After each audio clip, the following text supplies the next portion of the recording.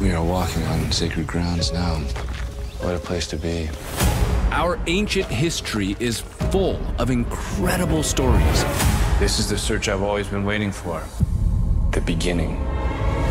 Forgotten civilizations lost to time. I want to see the city as it once was. Wow, look at that. Let's go. They're the stories I want to tell. Unbelievable.